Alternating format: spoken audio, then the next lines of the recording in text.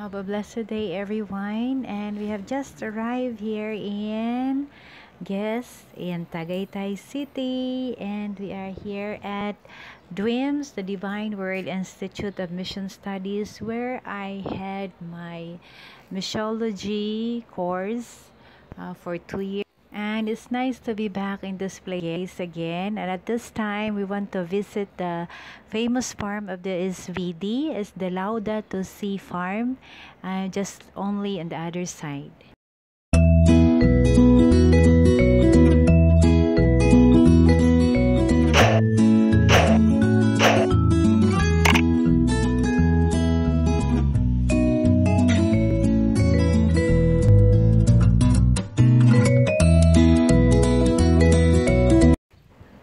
Pupunta po tayo ngayon doon sa kabilang bakod kung saan nandoon yung farm. But for us kasi, we are at the, I mean at the back side. So, here it is. So, we're going to enter and as you can see, it's really full of greenery as they are planting different siguro mga gulay ito no and uh, we know that um, they are really they are really maintaining this place. So dito po tayo dumaan sa likuran ng farm.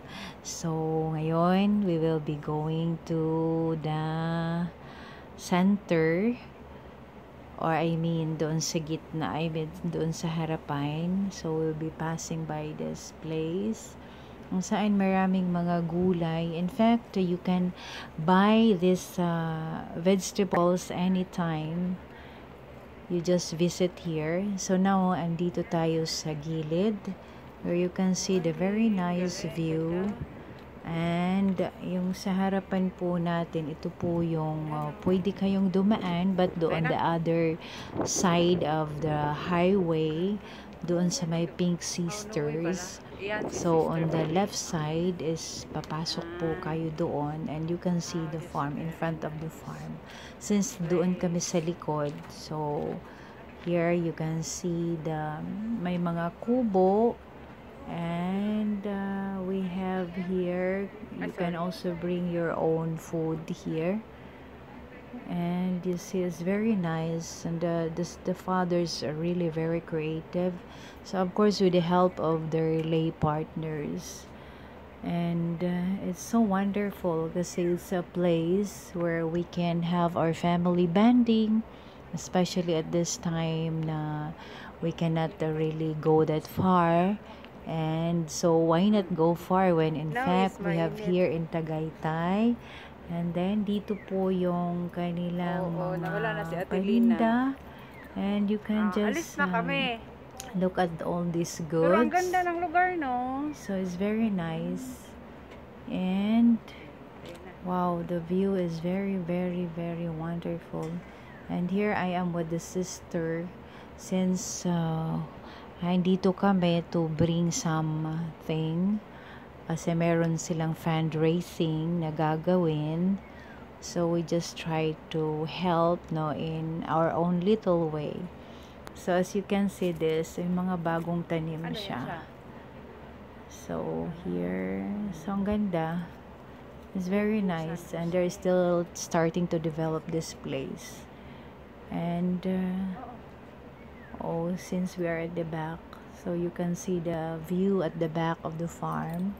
Wherein the plant really this mga flowers meron din. Um, besides, meron din doong greenhouse. And this one, oh, makikita mo, is really very newly planted Ayan, malamig na. vegetables.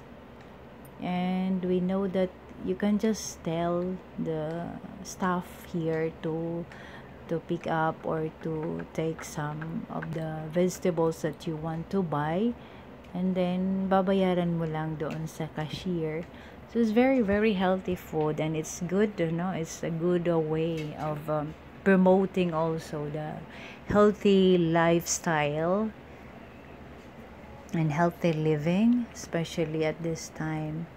So now, andito tayo sa likuran and we'll be going back to our car. place is really very wonderful. So if you want to visit here, if you are here in Tagaytay, if you want to come here to Tagaytay, don't forget to visit the Isvedi farm.